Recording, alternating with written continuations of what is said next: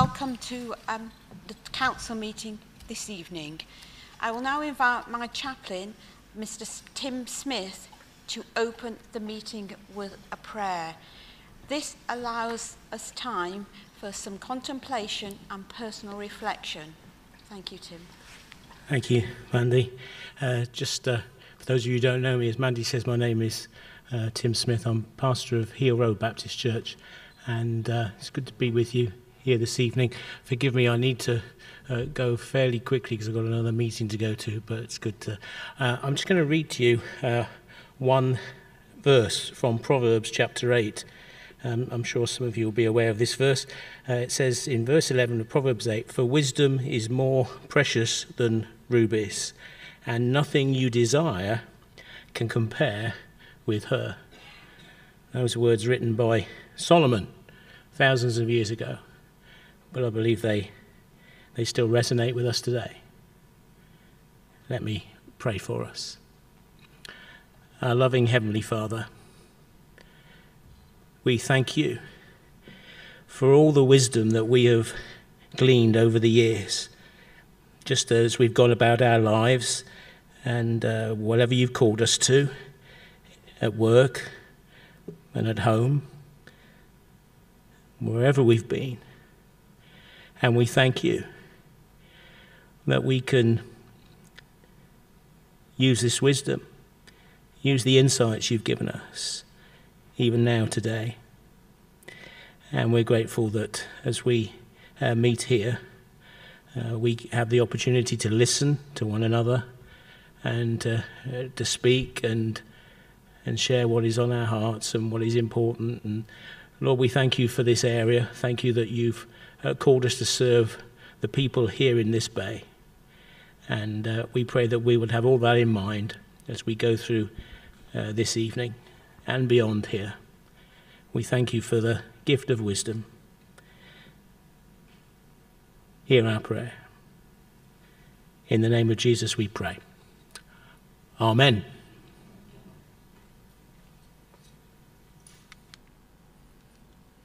Be seated.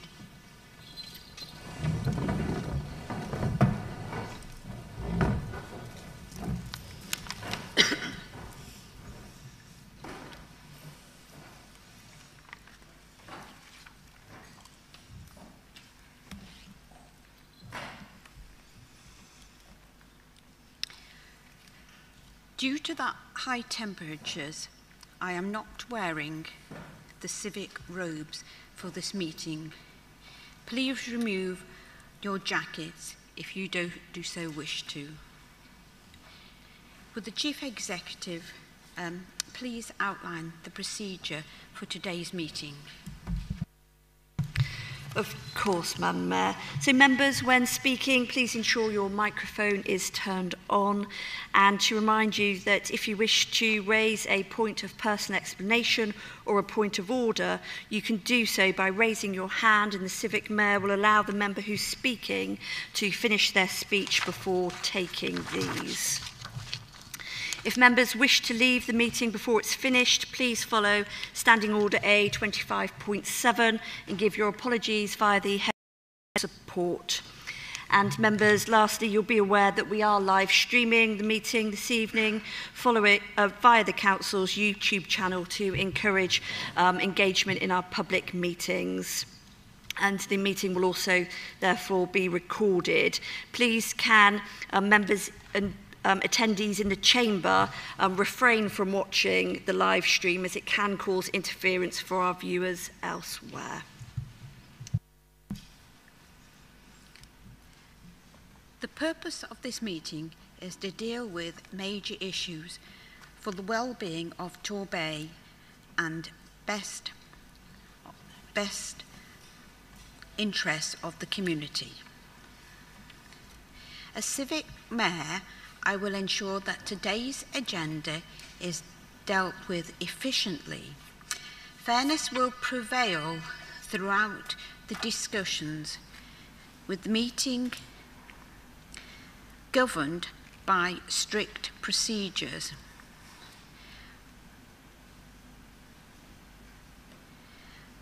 I expect respectful, speeches by councillors and along with healthy discussions. I will not tolerate um, inappropriate personal comments or repetition. Members, rest assured, I will interject if I hear this.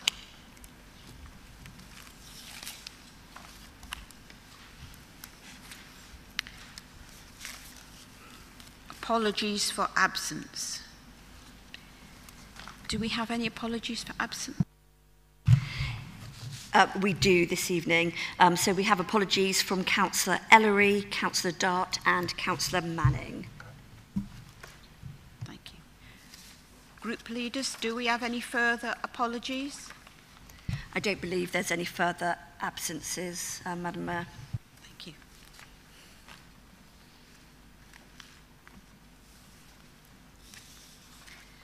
I propose the minutes of the annual meeting and adjourned annual meeting of the Council held on the 17th of May 2022 be signed as a correct record. Do I have a seconder? I second, Madam Mayor.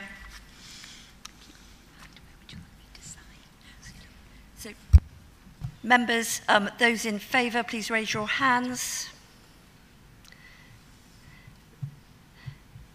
That's unanimous, Madam Mayor. If you could please sign the two minutes for me.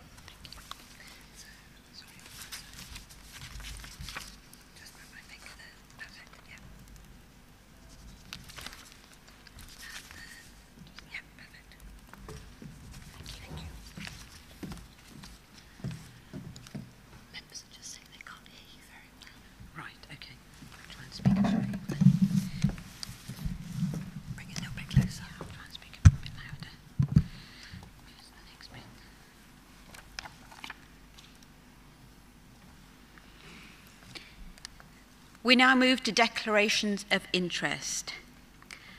May I request, request the Chief Executive um, see if we have any declarations of interest. Of course, Madam Mayor. Members, um, do any members have any non-pecuniary or disclosable pecuniary interests in any of the matters on today's um, agenda?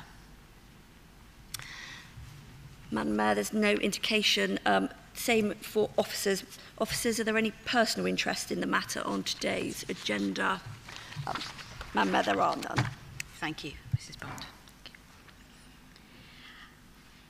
I am pleased to welcome Mr. Chris Robson from the Oldway Trust to give a presentation on the work of the Trust to the Council.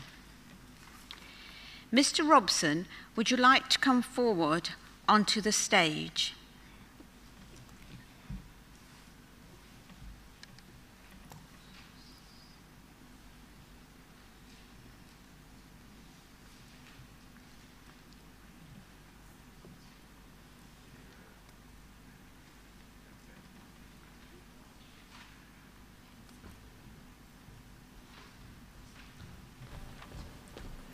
This one, right, okay.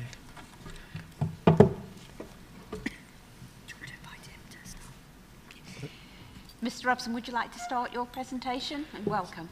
Certainly. Thank you, Madam Mayor and councillors. Um, as uh, just said, I'm Chris Robson. Thank you for the opportunity to speak to you regarding Oldway and to update you on the work we have been doing and will be doing in the coming months.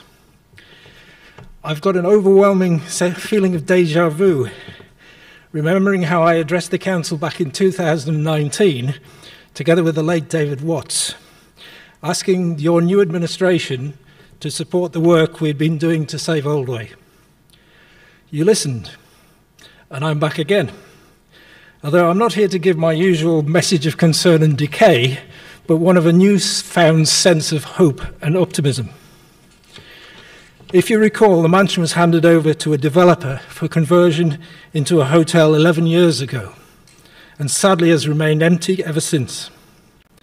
Five years later, in 2016, the developer gave up the project, and having made very little progress, and handed the estate back to the council.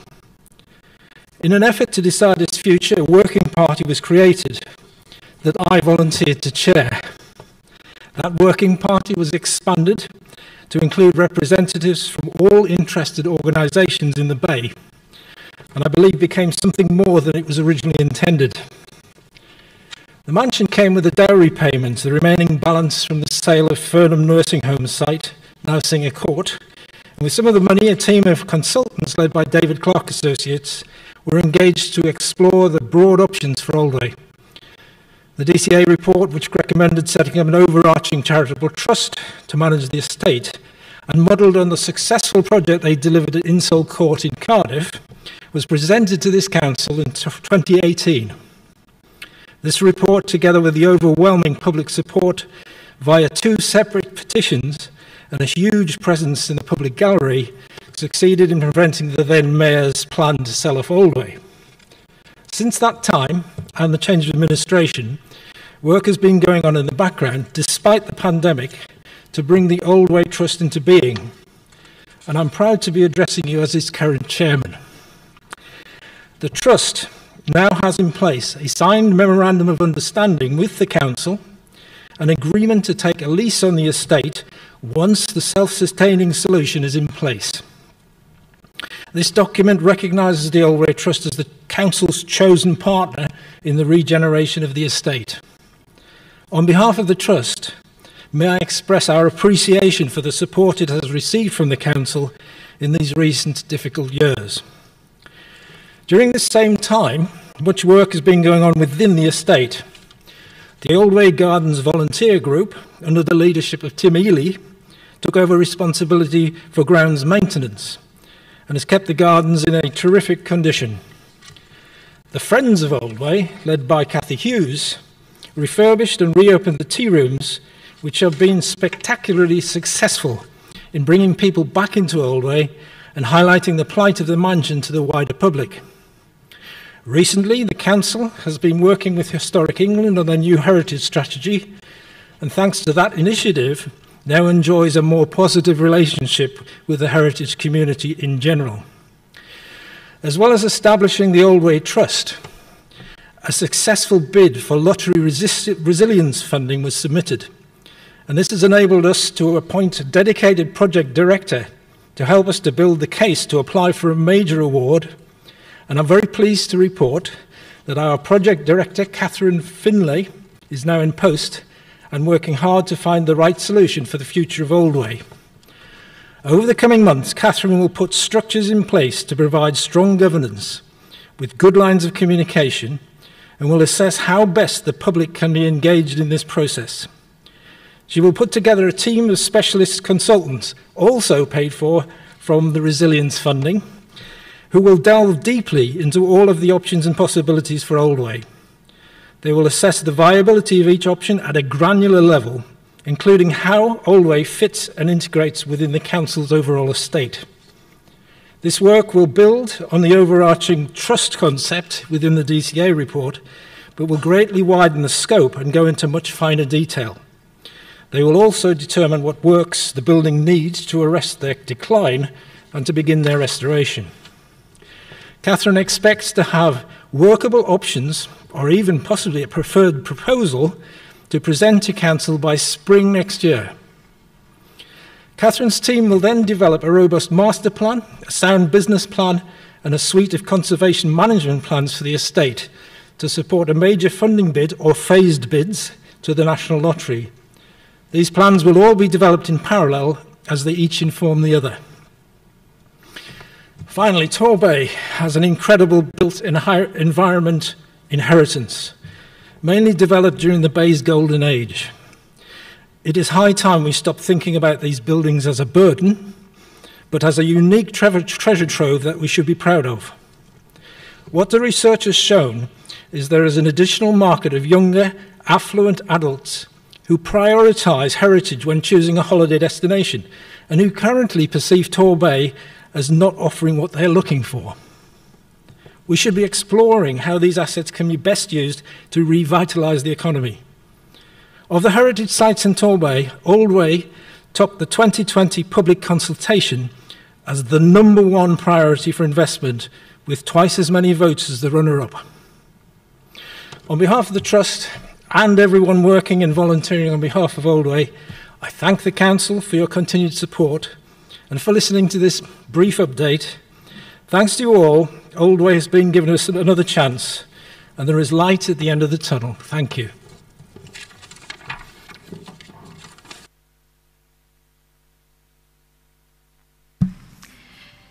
Thank you, Mr. Robson, Chris, sorry, for an excellent presentation full of so much positivity.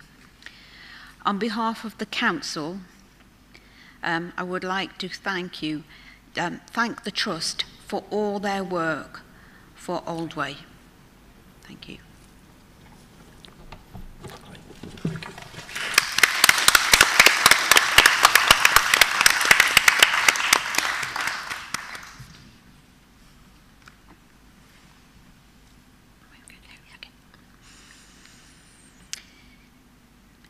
In accordance with the decision of the Standards Hearing Subcommittee held on the 10th and 13th of May 2022, I invi invite Councillor Foster to make her apology to the Council. Thank you, Madam Mayor. I wish to give an unequivocal apology for anything I may have said or anything of my actions that may have offended those attending the Housing Crisis Review meeting last September. Thank you.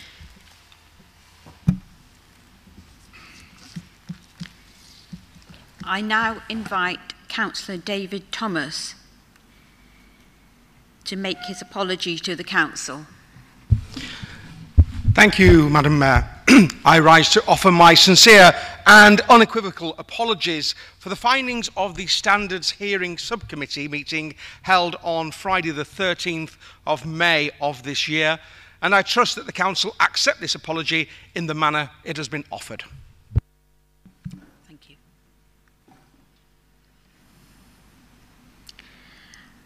I have the following announcements to make. My attendance at the, at the recent Jubilee events was extremely varied. From being part of the beacon lighting ceremony to attending local street parties and meeting so many people throughout, throughout the bay, especially at the Music on the Meadows festival. It was a fantastic weekend and one I shall never forget. So many vari varieties of events um, that I was able to attend. I also recently attended an event where I presented certificates to Year 6 children who'd completed the Citizen Award. This was where schools across the Bay and across Devon came together to promote the work that Year 6 children had done, including work for charities, um, staying away from home and getting involved in their local communities, almost like a younger Duke of Edinburgh award. It was fantastic. Pepsi had a fantastic time along with myself yesterday when we were um, honoured to meet the um, Prince, Prince Charles and, um, and his lady, and Camilla. And um, she was um, very touched by the dogs, um, both Pepsi and Jenny. And as I say, it was an honour to meet them and a lovely time had by all on Torre Abbey Meadows and I welcome them to Tor Bay. My civic luncheon is next Friday, the 29th of July, and I do hope to see as many of you as possible there. It will be at the Livermead Cliff Hotel, as I say, Friday the 29th, and it should be a good event for all. Thank you. Has the leader of the council any announcements um, he wishes to make, including any updates as the Council's representative on the heart of the South West Joint Committee.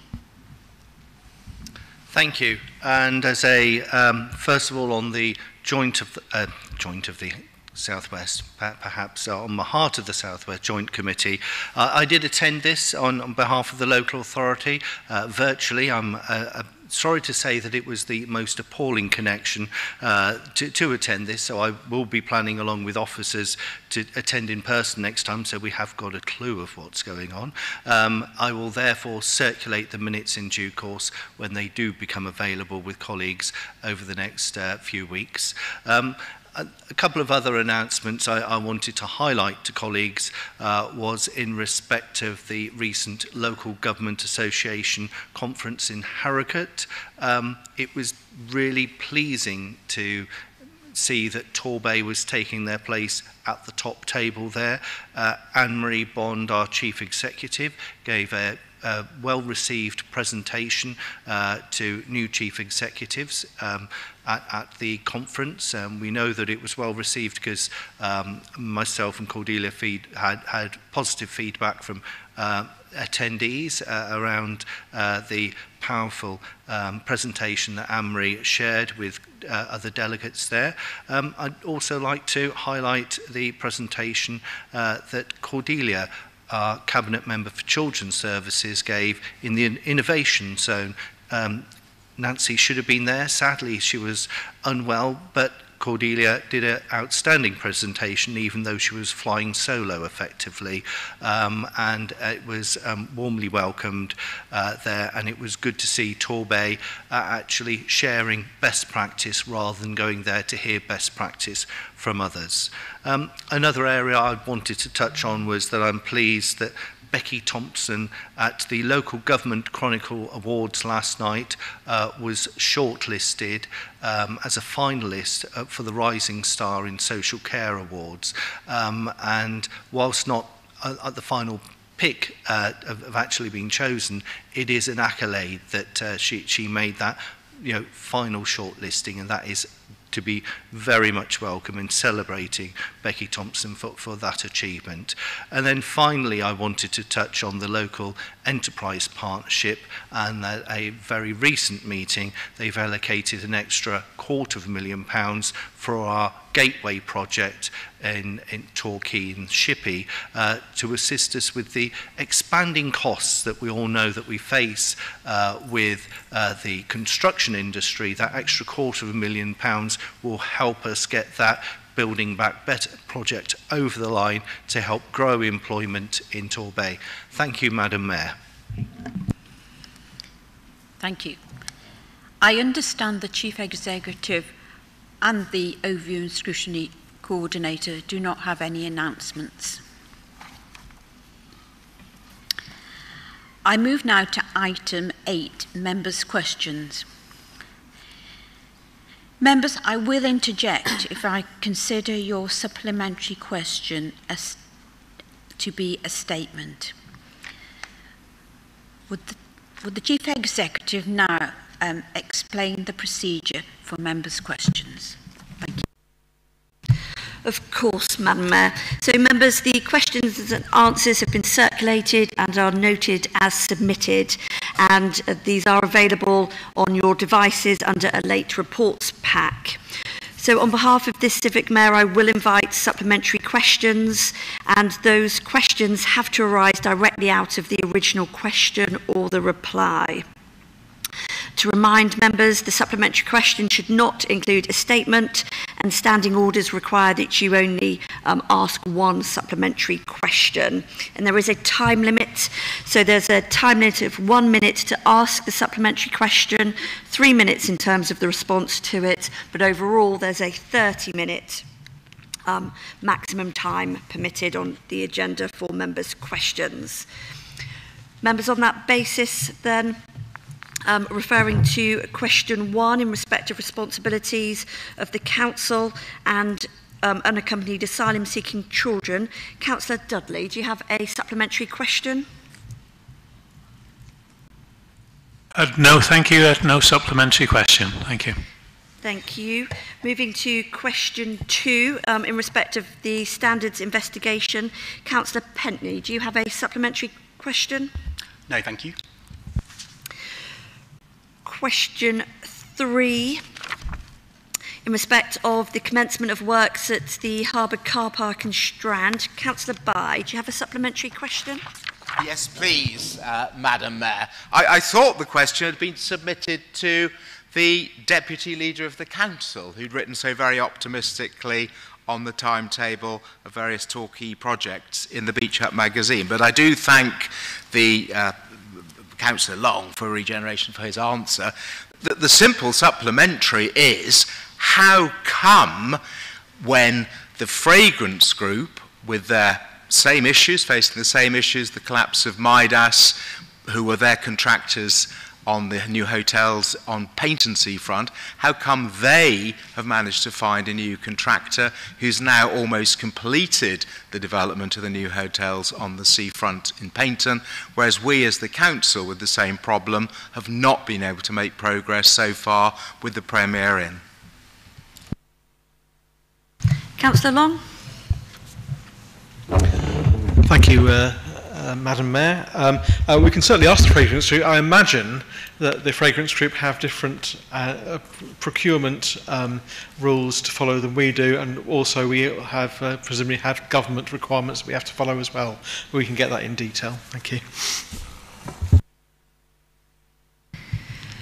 Moving then in terms of question four, which relates to the consultation results um, relating to the local plan. Councillor David Thomas, do you have a supplementary question? Thank you very much, Madam. Mayor. uh, no supplementary. Question five, in respect of the disposal of council land by the granting of leases. Councillor Kennedy, do you have a supplementary question? I do, thank you. Um, and thank you, Councillor Long, for your response. But uh, this is rather a complex issue, and I'm not in sure that the response is entirely correct.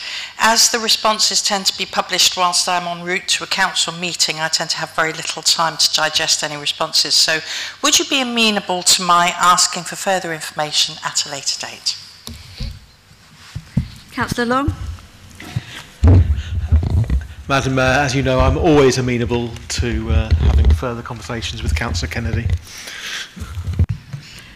Members, moving to question six in respect of the levelling up funding bid. Councillor Dwyer, do you have a supplementary question? Thank you very much, I do. Um, thank you for answering part of the question, Councillor Long. Uh, Brixham Fish Fishkey Extension and the Electronics Industrial Unit. These projects are good projects on their own. However, the question I asked is which of the essential criteria of transport infrastructure, cultural investment, and town centre regeneration do these two proposals meet? Thank you. Councillor Long. Thank you, uh, Chief Executive. Um, unfortunately, the full answer, which does exist, didn't translate itself into ModGov for some reason. So that answer was answered uh, from memory. It meets the regeneration element, but I'll get the um, uh, the full answer emailed to you when uh, when, it, when I get back. In fact, I may be able to find it in my emails uh, this evening. Now now we're here, but yeah, thank you. Moving then to question seven in respect of the continuation of the rollout of the COVID vaccine programme. Councillor Johns, do you have a supplementary question? I don't, thank you. Question eight in respect of Hatfield House development. Uh, Councillor Atiya-Alla, do you have a supplementary? I do, thank you. And I thank Councillor Long for the response that you have given me. Um, have relations have, have relations improved since with sanctuary housing and other housing associations with these meetings? Thank you. Councillor Long. Thank you uh, very much. Yes, relations with housing associations and Homes England um, are very, very good and um, Homes England seem willing to um, invest in Torbay uh, again, and uh, uh, there are a number of projects that they would like to do in that with that regard. Um, and uh, I'll always remember my first meeting with Homes England when I mentioned that the council were now keen on affordable housing, and they almost fell off their chairs because I'd said that. Moving to question nine, this one's in respect of council support for local traders. Councillor Loxton, do you have a supplementary question? Madam Mayor, I have no supplement question. Question 10, in respect of the progress of the Paignton High Tech Cluster. Uh, Councillor Douglas Dunbar, do you have a supplementary? Madam Mayor, I do not have a supplementary question. Coming on to the second round then of questions, question 11, um, in respect of subject access requests. Councillor Dwyer, do you have a supplementary question? I do. Thank you, Councillor Carter, for your response. Um, we are clearly failing significantly to uh, meet our own and national ICO targets. I note we appointed a dedicated SAR post back in January of 2021, but our performance actually deteriorated further in that year and since. When in this financial year do you expect with the additional, additional resources that you will actually meet the expected 95% target? Councillor Carter. I will have to um, check those figures out and find out when we can get on top of this. I'm dearly hoping that we can get on top of it um, fairly soon, but um, I will get back to you and email you exactly when. Moving to question 12 in respect of help for families in need. Councillor Dudley, do you have a supplementary question? No supplementary question, thank you, Madam Mayor. Question 13 then in respect of Swiss co-investment. Councillor Pentney, do you have a supplementary? I do, thank you, Madam Mayor. Um, thank you, Councillor Murray, for your response. Um, some positive news about the equipment that Swissco have acquired, which will help uh, maintain and tackle issues around street cleanliness. Um, in your response, you referred to um, uh, 10 years of grime to catch up on, i.e. a long backlog. Would it be fair to assume that such a long backlog is uh, largely a failure of previous administrations to get a handle on this serious issue? Councillor Morey, please. Excuse my back, uh, Councillor Pentney. Um, yes, the answer is we do approximately have a, a 10-year backlog. Um, as you sort of intimated, this is largely due to austerity, austerity uh, a lack of commitment to uh, street cleaning. Um, and of course, for most of that time, Swissco was not in existence. Uh, we were dealing with another body. Um, it will take approximately another two years to, to play catch up, uh, unfortunately, because, because of what I stated earlier on.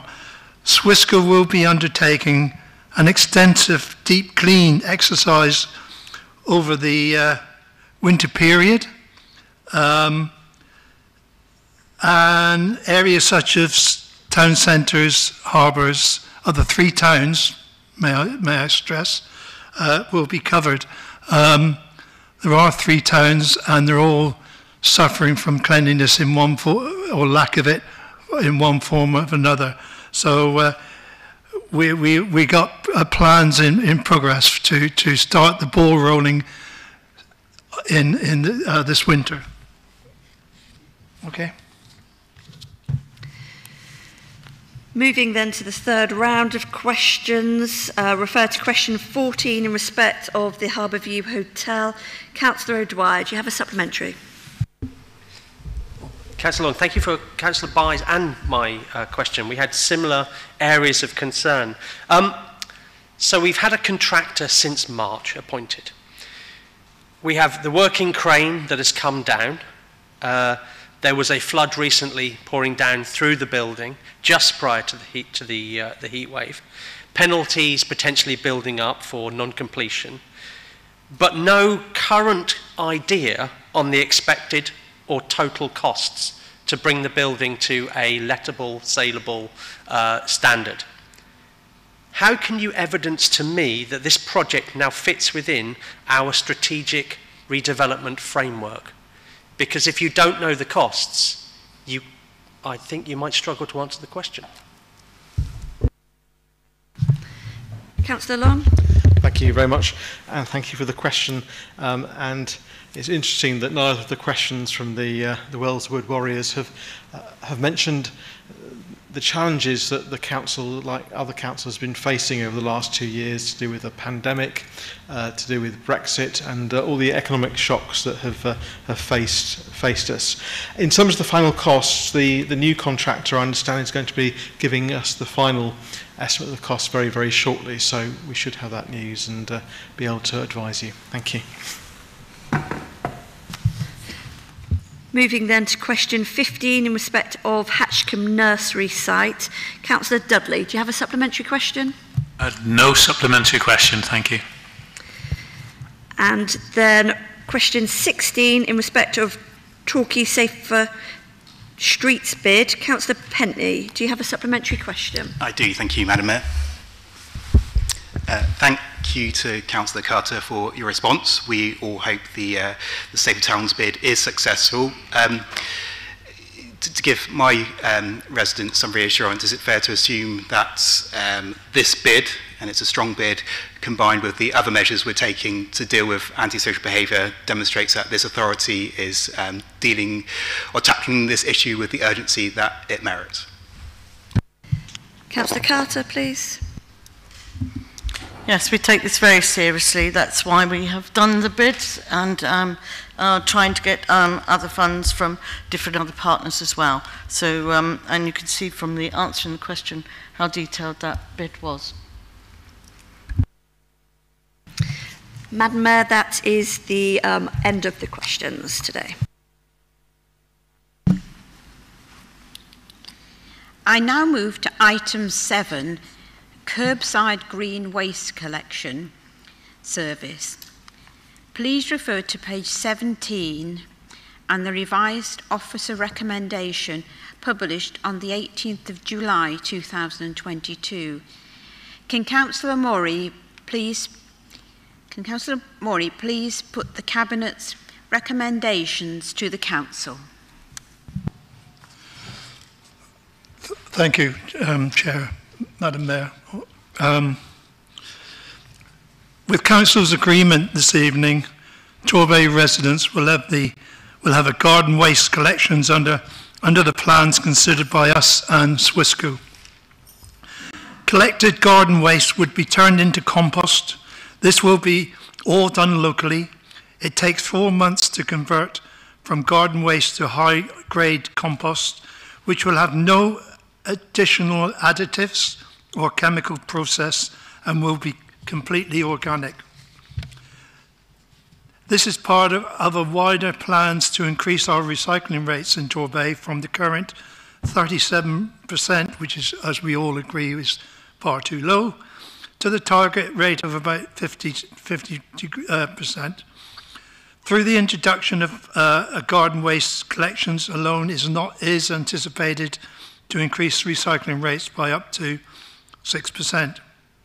As you know, in addition to the Council and Swissco have just started to roll out the new Right Stuff, Right Box campaign aimed at simplifying household recycling with the introduction of a new coloured coded system and an extra bag for paper recycling. So based on feedback from other local authorities in Devon, uh, who have introduced similar schemes, it is estimated that up to 25 households could opt into this garden waste scheme. There would be an initial cost of 1.6 million to kick the, the scheme off, and the service would cost around an, another 1.2 million per year to run. This is to enable the new service to be launched. Uh, Swissco will be investing in more staff and more vehicles. We have listened to local residents and we know there is a definite interest in the garden waste collection scheme for households We are committed to doing all we can to tackle climate change and to make Torbay carbon neutral by 2030 and increasing our recycling rates and reducing our, our, our carbon footprint. Um, these are essential part of, this is an essential part of this and introducing a new garden waste collection and simplifying our household recycling system will all help. We know that hundreds of tons of garden waste is disposed of with residential household waste each year. By introducing an opt-in garden waste, we could have a big impact on reducing that. And also by using the garden waste collected as compost, it's a win-win situation. The only green waste recycling option other than garden composting currently available to residents is the Household Waste and Recycling Centre at Paignton and also the, the uh, remote collection points in Torquay and Brixham. These, uh, these uh, collection points will continue. Feedback from the community engagement by the recycling support coordinators show that there is an appetite for this service within Torbay. It is intended that the green waste collection would be on the same day as the residential, uh, resi sorry, resi residual waste collection, but on alternative weeks to the black bin. Chairman, it is that in mind that I move the following um, recommendation, and that is that the Director of Finance be delegated authority in consulting with the Leader of the Council and Cabinet Member for Finance to provide council funding by prudential borrowing for the council to purchase the bins for the garden waste or to provide a loan to Swissco for their, for the per, for their per, uh, purchase. Up to the, the indicative amounts set out in the exempt appendices 1 and 2 to be submitted, uh, that is submitted by the report. Chairman, I so move. Thank you, Councillor Morey. Do you have a seconder? I rise to second. I rise to second, Madam Mayor, and reserve my right. Thank you. Thank you, Councillor. I now will invite debate, and we have Councillor Lewis, I believe, first. Thank you very much indeed, Madam Chairman. Um, and of course, we welcome this. Any increase in recycling is, is a, a, a bonus for the Bay. However, or a but, there's always a however or a but, um, it must be a priority to get that green waste away. Many of our residents live in small houses with small gardens. And it's no secret that a lot of, put, a lot of them put them in the black bag and put them in with the general rubbish. And that's what we want to try and stop.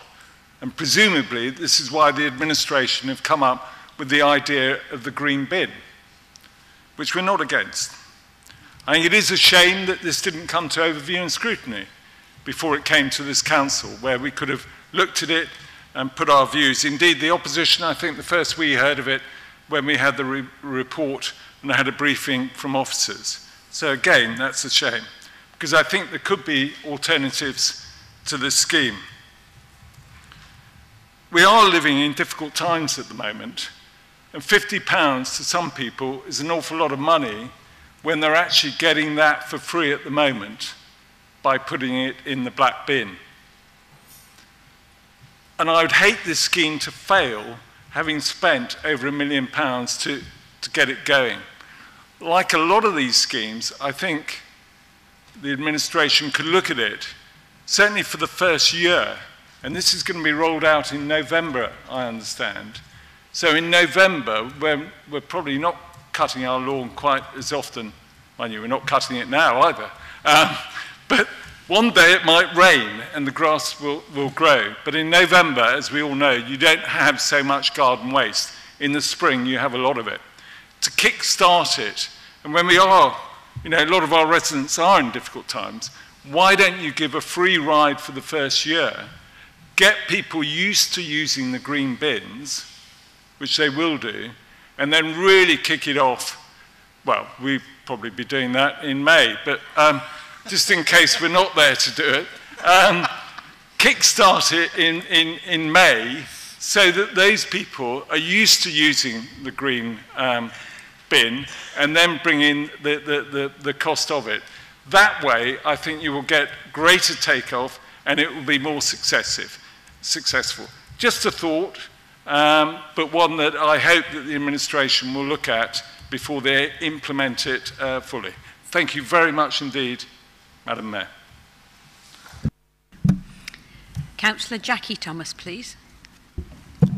Uh, thank you, Madam Mayor. Um, well, I welcome this motion, as just after I was elected in 2019, I put this very question into Council. Whilst out on the doorsteps in King's Ash, quite a number of residents had asked for this very service. It will benefit many people in my community. But what I am disappointed with is the fact that the administration dithered and delayed in bringing this service to the council. As just think what introducing this service earlier would have improved our recycling rates in the Bay. Thank you, Madam Mayor. Thank you, Councillor Thomas. Um, Councillor O'Dwyer. Thank you. Um, we do need a green waste collection. It is an important part of the, uh, the way that we will get to a higher recycling rate on the household waste. I would like to see us target a full uh, percentage on, on recycling to include our commercial waste and, and other areas as well, rather than just a focus on the household waste. However, is this the way to do it? Is a good question. Um, I don't know fully, but the way proposed here seems like a tax. Money to pay for your bin, first up, money each year as well. A tax on those who want to recycle. A tax on those who want to clear their own green spaces. Um, will it save the car journey to the, the, the tip? Um, well, maybe, maybe not, because uh, the trucks are very diesely and are heading there and back anyway, and will do so whether they've got any green waste in them or not. So if you're looking at the full life cycle analysis of recycling, is this the way Dwyer, to do it? can I just stop you there, please? I think we've gone a bit off, off piece because we're looking at um, the, the motion about the potential borrowing um, and we, we're not going into it as such detail as you are. So if you could bring it back to the actual motion on the table, please. Absolutely. I'm not happy with the revised recommendation, to tell you the truth. Um, it's still quite woolly. Um, what is it based on? How much um, are you actually proposing to borrow? There's a figure that's in part two, um, but there's several figures in Appendix 1 and Appendix 2. There's probably, what, 2 million quid difference in those figures? So what figure you're actually talking about. They're very different. So I would actually like to know what you want to borrow. I'd also quite like to know what rate you want to borrow. At what point doesn't it become efficient? At what point does it start costing this council more money? I get that, none of that information is here, unfortunately. So it's quite difficult to make a decision on how much you actually want and how much you're going to pay for it. So is that I'm allowed to talk about that? I don't know, maybe. Um, Money doesn't grow on trees, but it can be made from rubbish, as this council seems to be proving, charging uh, these kind of sums. So finally, why 25,000? Um, as I assume that's the kind of bins uh, and households, as I assume that's the kind of figure you're talking about borrowing, specifically within this recommendation. But actually, that's not what it says in the report. It's got a different figure in there. It's got several different figures. And 6% we're going to boost the, the rates by. And that's what we're talking about. We're talking about boosting the rates for this amount of money. So I think it is quite relevant.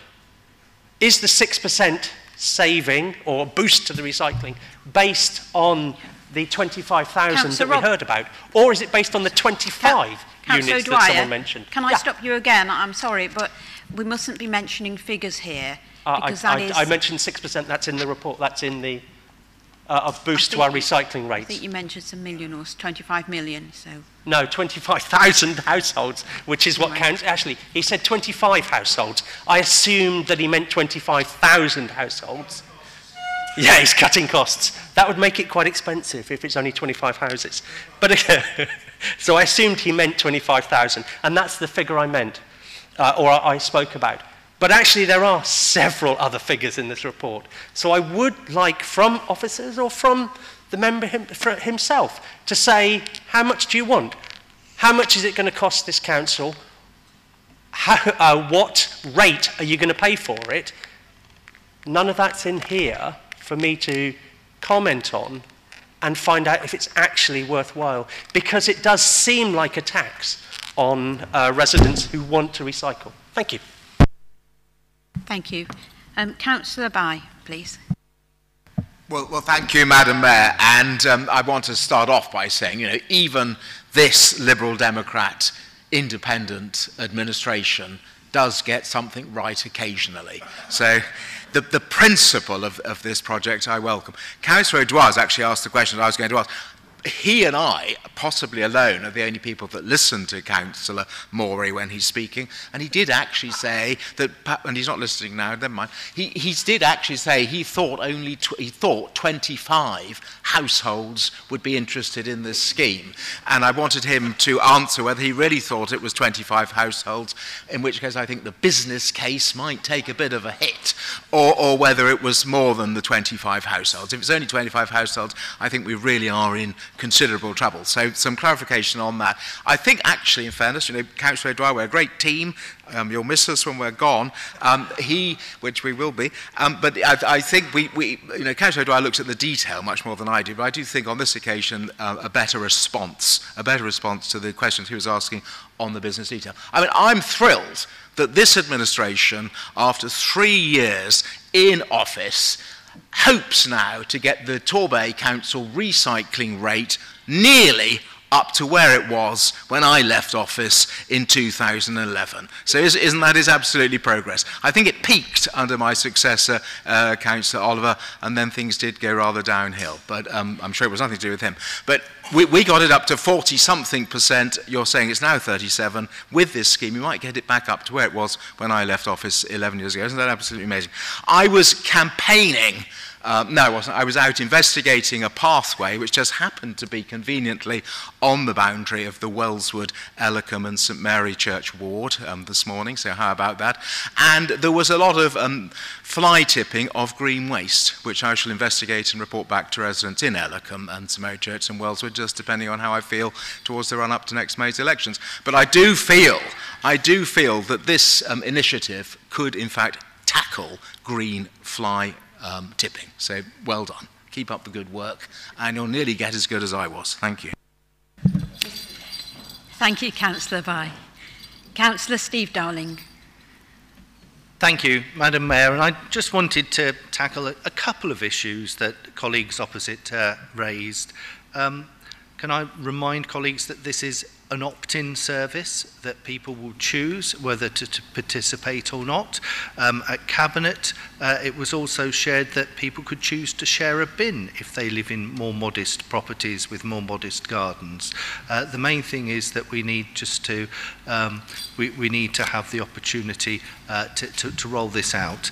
And the suggestion that we were dithering and delaying is, is just you know, for the birds it, the reality is, um, colleagues, we have gone through a pandemic. I don't know if people noticed this, and that had a significant impact, whether it's the pandemic, whether it's Brexit, or whether it, it's the international situation at the moment.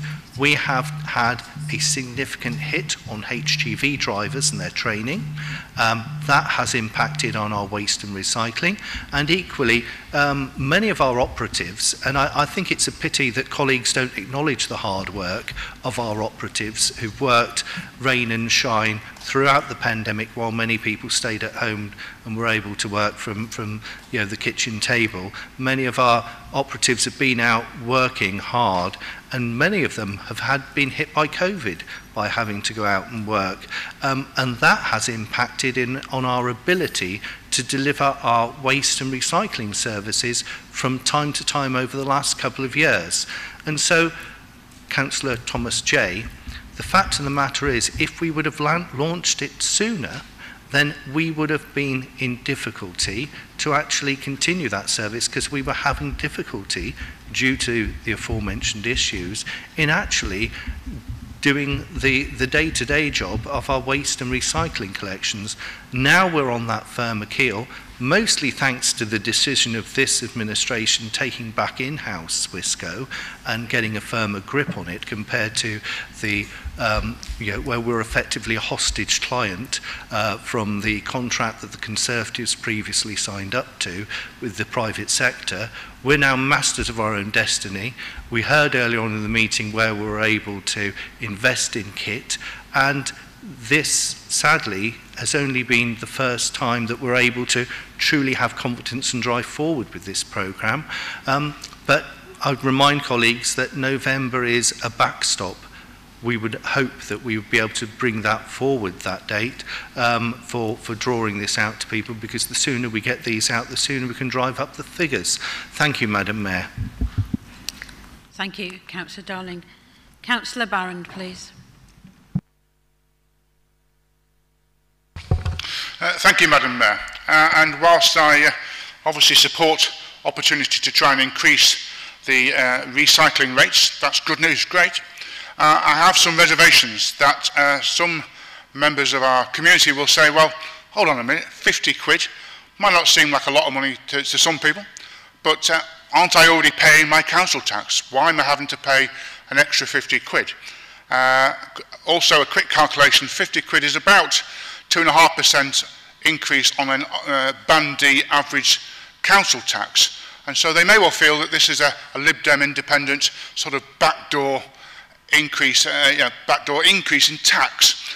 Um, there's also the point of view that has been suggested if it's, uh, you can't afford the 50 quid, perhaps you can share it with your neighbours. Uh, great in the wonderful land where everyone lives in harmony.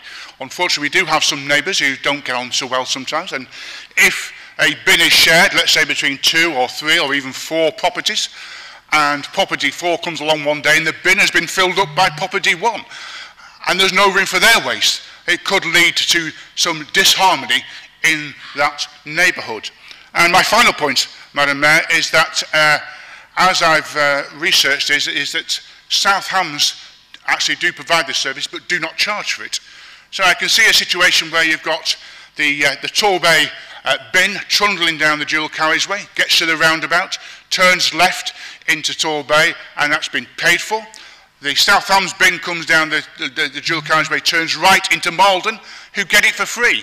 Now, some of those neighbours may well again say, well, hold on a minute, that doesn't seem very fair. We're, uh, we're having to pay 50 quid for that service, and those across the other side of the roundabout aren't having to pay for that. So, whilst I do support the, the uh, opportunity to increase waste collection, I do have my reservations on the charging for the points I've just made. Thank you, Madam Mayor. Thank you, Councillor Barron. Councillor David Thomas, please. Thank you, Madam Mayor.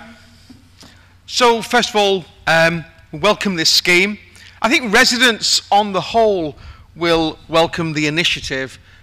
It is such a shame that it's being rolled out so late in the year.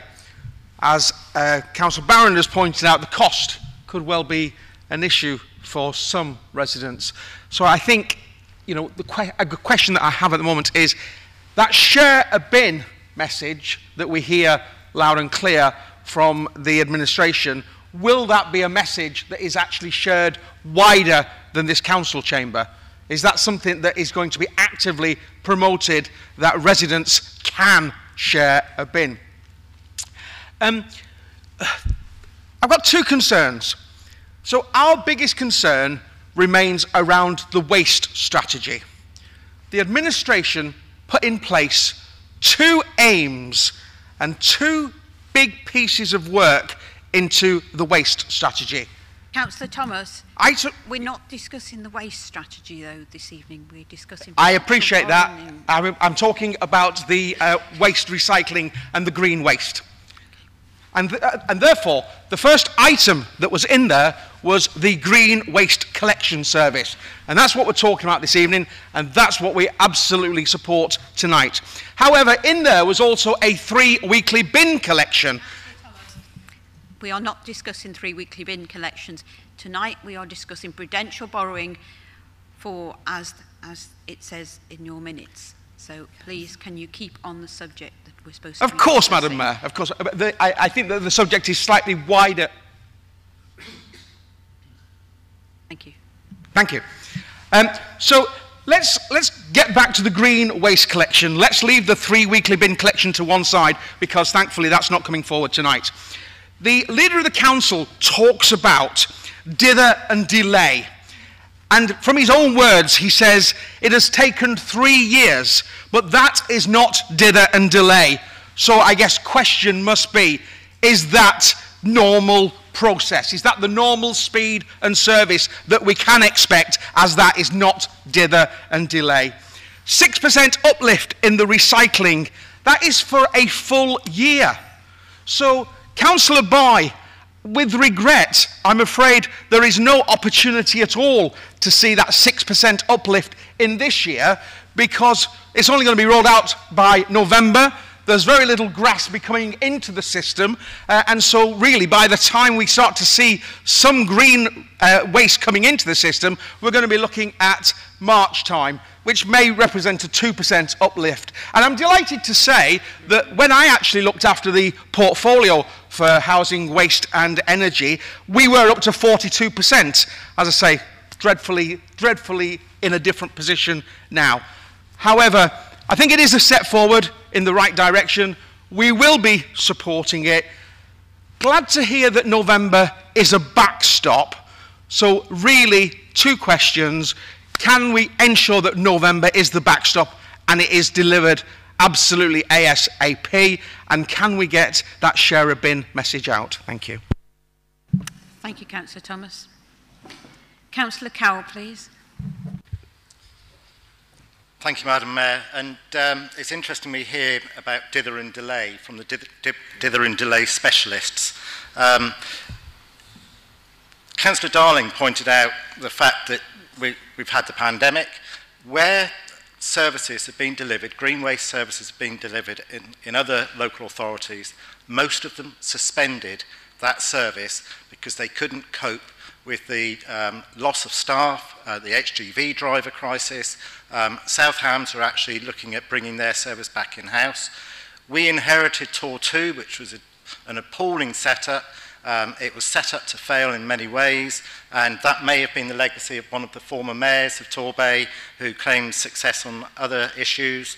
Um, but we acted to start moving towards the green waste collection as quickly as we possibly could once we'd resolved the, the day-to-day operational issues uh, within Swiss, Swissco. In terms of the cost model, the cost model is very similar to that of many, many other neighbouring local authority. South Hams is an outlier. It's one of the only free services um, in Devon. Um, all the others, uh, most of the other local authorities across the region actually charge a similar amount. We will also be offering a discount for those in receipt of council tax support um, so that we know that we can actually offer some kind of um, uh, help for those on lower incomes. And in terms of lower incomes and the cost of living crisis, I don't think I want to take any lessons from members opposite.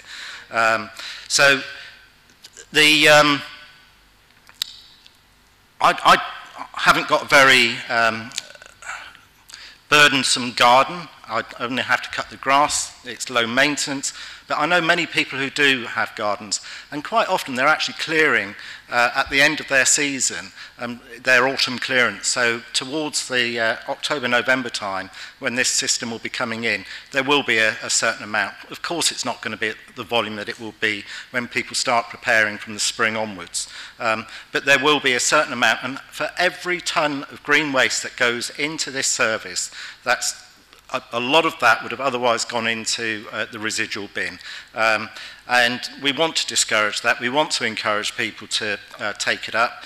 25,000 may actually be uh, a, a conservative estimate. Uh, it may be that longer term there will be um, a greater take up which will actually uh, improve on, on the delivery and the business model. And the idea of being able to deliver it free, well, I'd like to know how that can, can be costed. And the trouble is, if you introduce a service and it's free, then the resistance when you actually introduce a charge for a, a later date will, will actually be counterproductive.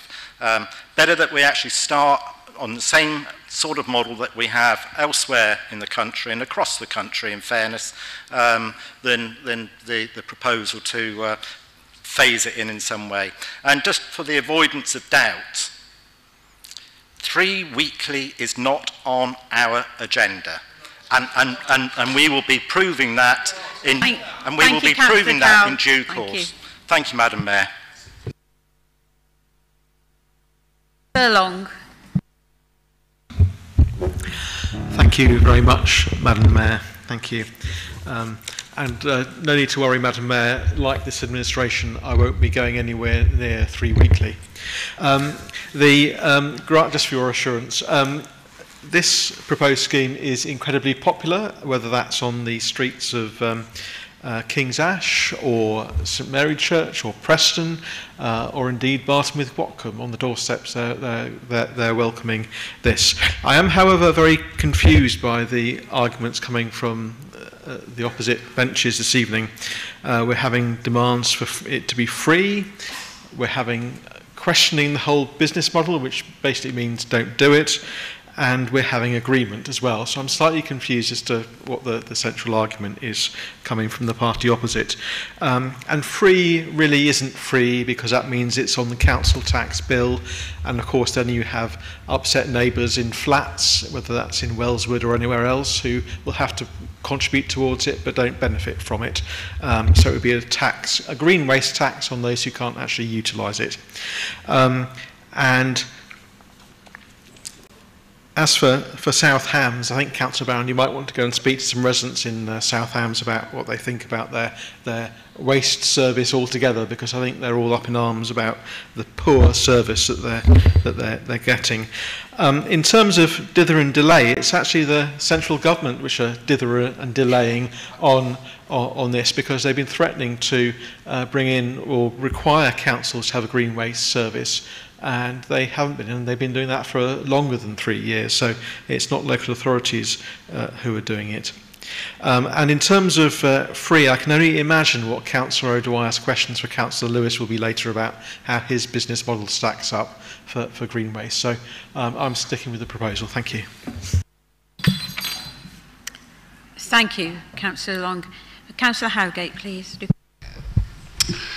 Thank you very much, Madam Mayor. Um, I welcome some of the constructive comments from the um, colleagues opposite, but I do think there was one little bit of imprecision about language which um, a, a, a mere few seconds Googling would correct. The idea that this was some sort of additional tax is a rather mischievous use of the English language, I think. And if you type in tax definition, the very first thing that will pop up on your screen is that it's a, um, a compulsory, a compulsory uh, payment. Um, so it's a rather, I beg your pardon, a compulsory contribution to state revenue, much the same, much the same point. And the whole point about this is a, this is a service which is optional, so there, there is no compulsion whatsoever. So it's somewhat mischievous to paint this as an additional tax. It's plainly nothing of the sort. And I just wonder whether the colleague that used that phrase was perhaps um, being influenced unduly by his time campaigning for Conservative central office rather than thinking purely about the best interests of residents in Torbay. Equally, I was rather amused um, to note that there was a great concern about neighbourliness and good neighbourly relations.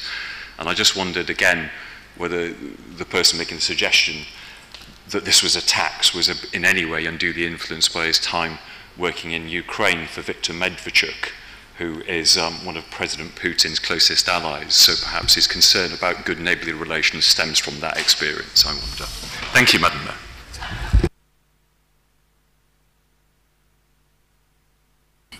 Uh, Councillor Pentney, please. Yeah, I mean, we heard from uh, Chris Robson earlier this evening, of course, and I want to use a phrase he often used, saying, I wasn't going to speak to this item, but, Um, and indeed, I wasn't going to speak to this item, but so the ridiculousness coming from the opposite. Like, to bottom line this, we're expanding a service, we're offering a service we weren't offering before, and it's an opt-in service. Now, residents across Torbay are going to welcome that. So how you can try and make some political uh, mileage out of this is just ridiculous, and the fact you can do it with a straight face actually probably deserves some credit because it's just ridiculous. We're improving the offer for local people and people who want, wish to buy into it can do. So you know it's a good offer. Stop playing politics. Let's get on with it. Thank you, Councillor Penny. Um, I've got Councillor Atiala, but we have heard from a lot of people. Is it, is it something new, Councillor Atiala, you want to add? Absolutely, Madam Mayor. Just as a climate change champion, I actually do welcome this policy. It's not an extra tax, and it's not uncommon that local authorities, and yes, you can chunt away at me, Councillor Barrand, but um, the, you know, in terms of local authorities, it's, un, it's not common that there is a subscription charge. It is optional, and therefore, you know, many people will subscribe to this. Thank you. Now, there's no further debate, I go back to uh, Councillor Law for your... Um, do you wish to say anything? Thank you, Madam Mayor. I think uh, most things have been said this evening, um, but it, it does make me smile. This scheme does bring us in line with our neighbours and neighbouring authorities. South Hams might be offering it free, but I think South Hams residents would be very grateful if their ordinary rubbish was collected even once a month. They'd be happy with at the moment, which is why they're trying to take their service back in-house. So I think comparing what we are offering, which is a opt-in service, those who don't want to pay that fee, they are more than welcome to continue to pay their own fuel and drive their own things to the recycling centre and drop their own green rubbish off if they want to. That's entirely up to them. But what I would like to know a little bit more about would be, perhaps after now, is the, are these magic gardens that don't have any waste in winter? Because in the springtime, so that would be from end of March until end of August, you're not actually allowed to trim your hedges, cut your trees and things like that. That's the sort of thing you do in the in-between time. So those are the things that I do in winter, and that's what I take to the recycling centre then. So there's leaves, there's all sorts of things that you pick up in winter that you don't have to do in spring. I want one of these magic gardens that I only have to, to take things away in the summer. That would be absolutely heavenly. So I might be popping around, Councillor Lewis, and find out how you do that. Um, but I do, I do, I welcome this service. So as I said at Cabinet, if only 10,000 households, and the research and the numbers have come from looking at all the other authorities in, in the area, um, and what the uptake, percentage of uptake was in those areas. And this has given us the average of those uptakes relative to our population. So that would be um, if only 10,000 households stands, sign up to this, and they did were to go once a month, if they were to go, they may not, that would still be 120,000 car journeys, and I don't think the lorry is going to be the equivalent of that. I've asked about this particular issue on, on whether the lorry, and it is thought I've been told by both by our climate officer and by Mr. Reeks that it it will be more carbon effective for the lorry to be making these one journeys than it is for all the cars that currently drop off their waste. So I hope that puts your minds at rest on, on that side of it. As I said, I'm going to be buying my mum this subscription for her birthday because I think it's a great thing. And my mum probably won't share it with her neighbours, but uh, That's because her neighbours are all paved, so I don't think they need it whatsoever. But I welcome this scheme for its convenience, for everything. We've talked a lot about it. Tonight is about actually financing this scheme, getting the money to do it. We've approved the scheme. Um, and I'm delighted to second this proposal. Thank you. Madam Mayor, my apologies. I believe Councillor Barrand um, wished to raise a point of personal explanation that I missed before um, you brought Councillor Law in. So, um, Madam Mayor, Councillor Barrand. Councillor Barron. Would you like to? Thank you, Madam Mayor. And as I was named by uh, my colleague on the other side, I'd thank you for the opportunity to respond to that comment. Uh, call me a simple soul. He indicated it wasn't a taxation, but in my simple world, uh, my Band D council tax um, uh, for services is going to increase. Barrand, this isn't a point of personal explanation. It's well, I will explain. I understand in my simple world that increasing 50 quid on my council tax is, is an increase in taxation. Thank you.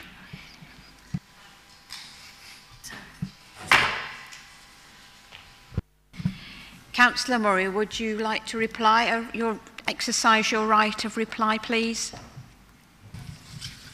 Thank you, Chair, and I'll be, I'll be brief. Can I first apologise to Councillor Dwyer? My teeth dropped at the inappropriate moment, and I did mean 25,000, not 25. Um, so I'll get some super to come up or something. Um, but on a serious point, on a serious point, um, these charges, and it's £50 and £40 for those on the council tax support scheme, these are compatible with other authorities in Devon, Lib Dem, Tory, Independent, whatever. Um, it was only South Hams that is not, and has been uh, pointed out already. Um, unfortunately, and I'm not gloating at all, um, they are finding themselves in a few problems with collection there as well. I do share Councillor Thomas um, J. Uh, frustrations. I had those. I've been having those frustrations over the last three, nearly four years now, but three years. But we have been awaiting for this government over that period of time to, to come off the fence and tell us who, what their, what their idea is. Uh, is it going to be a government finance scheme or is it going to be a local authority finance scheme? We're still waiting. I know they've got probably other things on their mind at this, at this point of time, um, but we are, that's what we're, we're frustrating. And we took the bull by the horns and said, enough's enough's. Let's, let's do it, basically. Um, then very briefly, the sharing of a bin is an option, but that would be purely up to neighborhood neighbors agreeing with each other. Are Swissco going to complain if neighbors are sharing a bin Of course they're not? It's, that's not an issue. So uh, can I ask that members cross-party support this recommendation, please? Thank you. Thank you, Councillor Morey. I will now ask the Chief Executive to take the vote, please. Of course, Madam Mayor. Members, um, please um, indicate those in favour of the motion um, before you.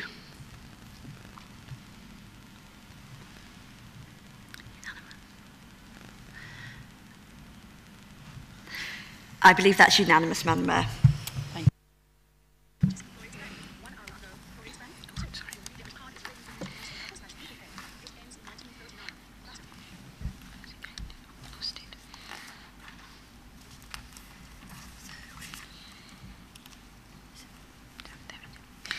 Um, I now move to item 8, Joint Health and Wellbeing Strategy. Please refer to page 28.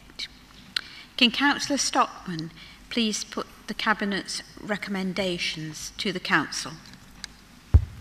Sorry. Thank you, Madam Mayor. And now to something that I hope won't be so controversial. Um, Councillor Stockman, do please sit down. You, that, that's fine. No, I actually prefer right this Oh, minute right. to stand up. Thank you. um, As members will be aware, it is a statutory requirement for all upper tier local authorities to have a wealth and being strategy. The draft health and wellbeing strategy has been through due process and has been out to consultation. There were 92 responses which can be found in Appendix 2 and in the main there was agreement with the objectives of the strategy particularly in regard to mental health. It is regrettable that we still have a high number of suicides and self-harm, and we believe that this strategy builds on work that has been ongoing to address this. Two examples of this are the Mental Health Alliance and more recently the Multiple Complex Needs Alliance. Further information can be found within the report, which I hope all members will have read. The strategy is a collaborative document produced with our health and wellbeing partners, largely based on the recently refreshed Joint Strategic Needs Assessment and the Torbay local plan and aims to improve the lives of people living in Torbay over the next four years. An update of the Marmot Review in 2021 showed that inequalities are widening and improvements in life expectancy stalled in the decade prior to the pandemic. Chris Whitty, the Chief Medical Officer for England, highlighted the challenges facing coastal communities whilst being some of the most beautiful and vibrant places to live Together with our partners, five areas of focus were identified. They are mental health, healthy aging, good start to life, complex needs, digital inclusion. And at Cabinet, Councillor Barnby shared her concerns regarding digital inclusion, which I also share, and she has been invited to be part of a group looking into this. As we all know, through the pandemic, health organisations have moved more and more towards digi digital use. Therefore, inclusion for all is essential. At a volunteers group meeting I attended today, it is recognised that approximately 20% of people are currently unable to engage digitally, and many of those would be considered to be amongst the most vulnerable in the Bay. So I thank Councillor Barnaby for her, in, for her interest and hope that her contribution to this area will make a difference. There were also, I'm really sorry, there's something happened to my. Yeah, that's right, okay. There are also six cross cutting areas which are environment, environmental sustainability, physical activity, good house, housing, reducing inequalities, supporting carers and increasing awareness and identification of domestic and sexual violence and abuse. These demonstrate the implications that varying issues can affect on our, um, have effect on our physical and mental well-being. The report gives our objectives and priorities and under each heading it gives the reasoning, the goals and the method of achievement, which is a rarity, dare I say, in, in a strategy um, over the years that I've seen that you can actually see how it's going to be measured. Um, so the goals and actions laid out in Torbay's Health and Wellbeing Strategy will be delivered by Torbay Council, constituent members of the Joint Health and Wellbeing Board and partners. Next to each identified focus area is the appropriate organisation that is responsible for delivery. We will ensure delivery by having a lead strategic group for each focus area who will oversee the programme and outcomes.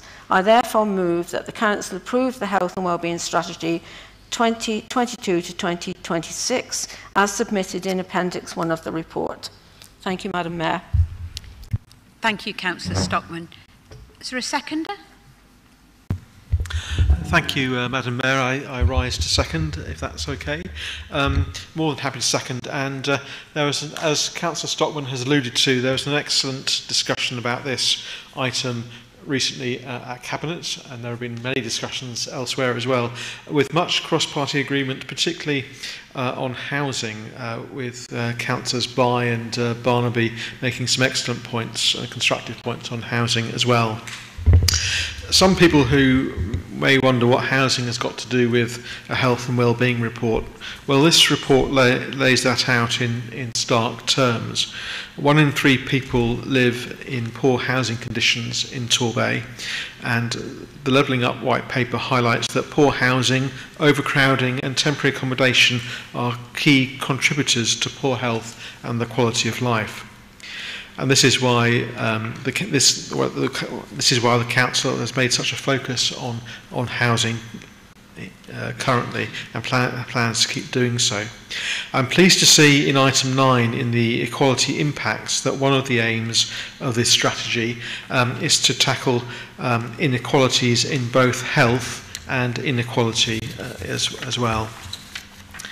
As well as um, going out to consultation, this report has been, been put together with health and well-being partners and represents the priorities not just of the Council but a number of agencies uh, as well, right across Torbay.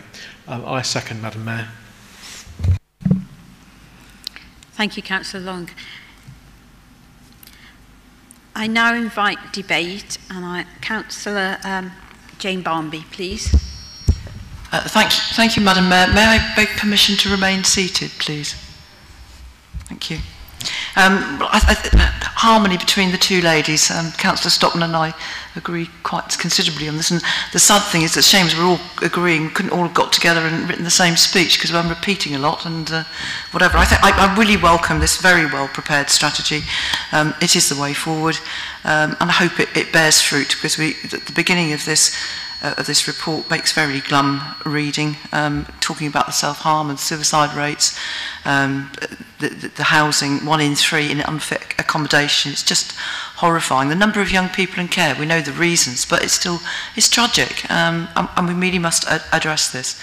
Um, I, was, I was very pleased to see that it focused on, on five doable themes rather than a raft of, undoable themes, which you know you could be talking about forever and nothing gets done. Um, mental health is such a priority.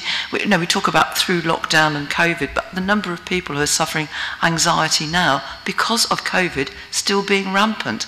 Um, every day in uh, in my my area, uh, I know people are frightened to go out still, and it, it's just self-perpetuating. So this this kind of strategy, I hope, will get through it. Um, a good start to life, hubs, hubs, hubs, communication, conversation, wonderful, absolutely marvellous.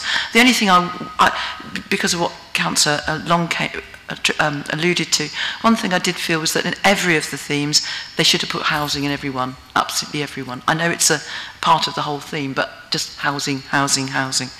Um, I think it was quite interesting that one of the comments from the, from the consultees regarding complex needs basically pointed out that people feel that they're being pushed from pillar to post between agencies.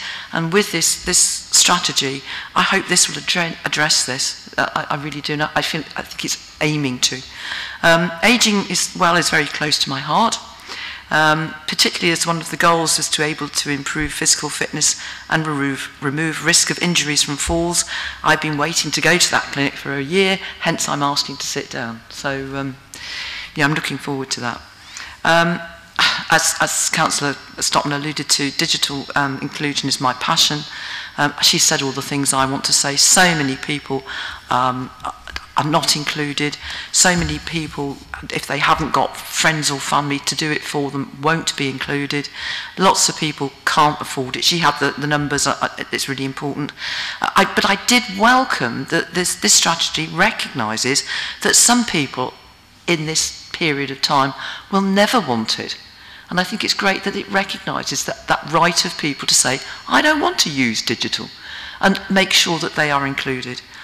Um, I think the only sad thing about this is that the, particularly with my passion for digital in, uh, inclusion, is that it says from the beginning that, that the consultation was digital and only got um, paper if you asked for it. And then it came to the conclusions from the consultation. Again, it said, we probably didn't quite get the right number of people here or the right number of results because it was mostly digital. I think that's a bit sad on this, what I consider to be excellent report. Uh, they could have done something a little bit more about that from the beginning but I, I recommend it wholeheartedly. Thank you, Madam Mayor. Thank you, Councillor Barnley. Councillor Loxton, please. Thank you, Madam Mayor. Um, just like to say thank you for a fantastic report. Um, to the you know, Director of Public Health, this is a really exciting report and it's an important report and it's got action plans and follow-ups for the future. Um, one of the main issues I think on here is obviously mental health, which like already um, Councillor Barnby and Councillor Stockman already mentioned. And with the pandemic, um, you know, people are, have been isolated and in one or two instances, you know, have been and have tried to commit suicide over the last few months. I would like to thank also that the police force in Devon and Cornwall have been outstanding in preventing these these things. Everybody forgets what the police do. They do actually everything at the moment. Um, you know, I think they're the first, uh, you know, person of call. Um, Going on to other items on prevention, this is an, an important issue. Online communication is a very important thing. Um, people go online, youngsters to um, individuals, and they look online, they get involved. It's mental issues that are preventing, uh, that acquire this. For instance, going onto the dark web, you know, we have the problems of that. They understand what to do if they want to commit suicide. It really is an important issue. Um, so, and also, we are all here in this room to help and prevent people committing suicide. It is an important issue, and many, and the residents of Torbay also. Um, and also, really, you know, it goes down to clubs, sports coaches, even teachers and everybody like that, just to name but a few, who have got to get together and you know prevent this sort of thing. So hopefully, you know, we, we can, you know, decrease the amount of suicides in the bay. There's been uh, several um, young individuals who've committed suicide, and it's been such a sad situation for Torbay. Let's hope that we can help everybody in this area. And by the way, the only good point is that you know you can set up a My Fans only. Thanks very much.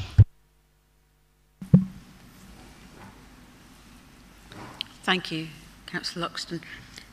Councillor Murray.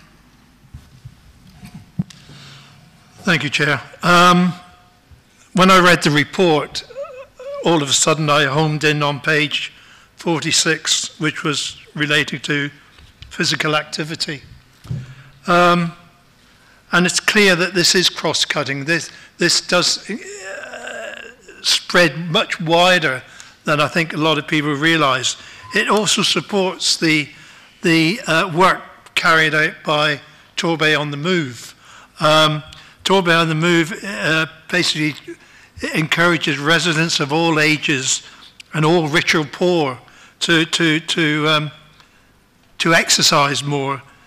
And of course, as we all know, if um, exercise does maintain at least uh, people's health and well-being. So I, that's all I wanted to say, Chair. Mayor. Thank you, Councillor Murray. Councillor O'Dwyer. Thank you, Madam Mayor. Um, I think it is a really good report. Um, it's the right strategy, and I think there's been some amazing work that's gone into it, firstly. Um, but I really do like a good target. We know that.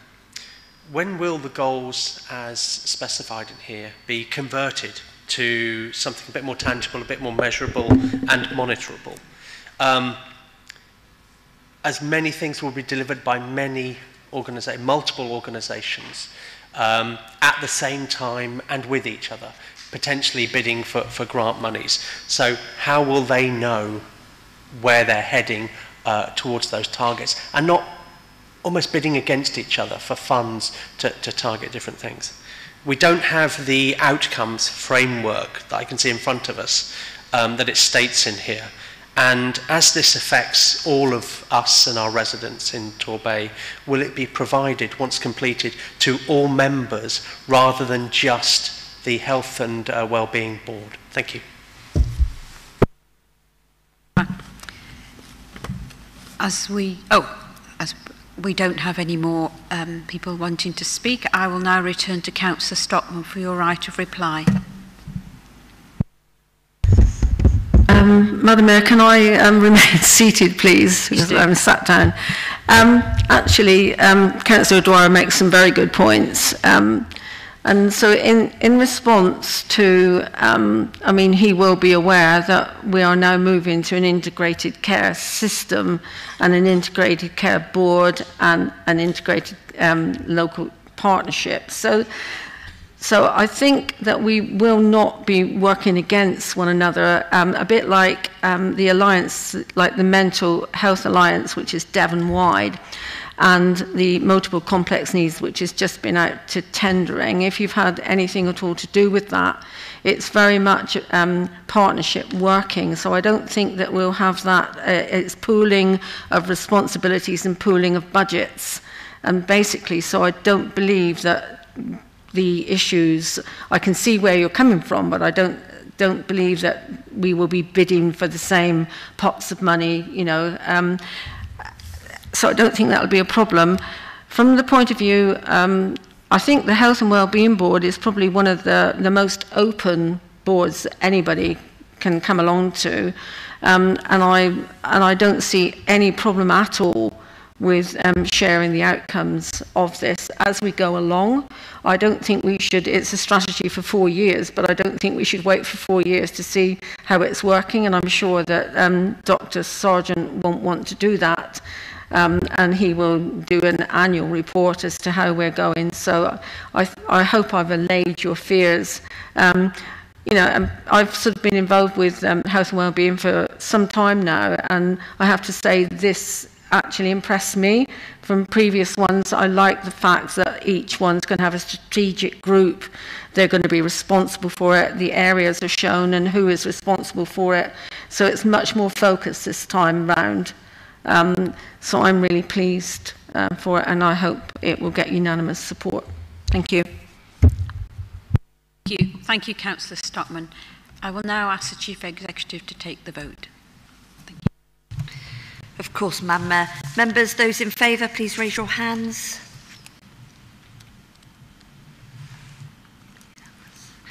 Madam Mayor, that was unanimous.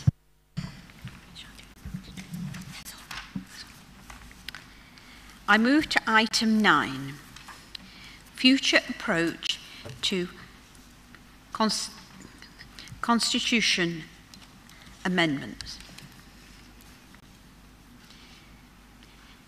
This item has been deferred.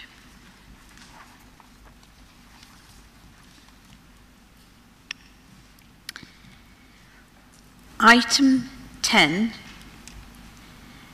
final budget 2021-22, April 21 to March 22. Item 11, Treasury Management Outturn 21-22 um, report and item 12 standing order D11 in relation to overview and scrutiny call-in and urgency are reports for noting and no voting is necessary. Thank you members for attending the meeting today. I will now close the meeting. Thank you. Pray silence and be upstanding.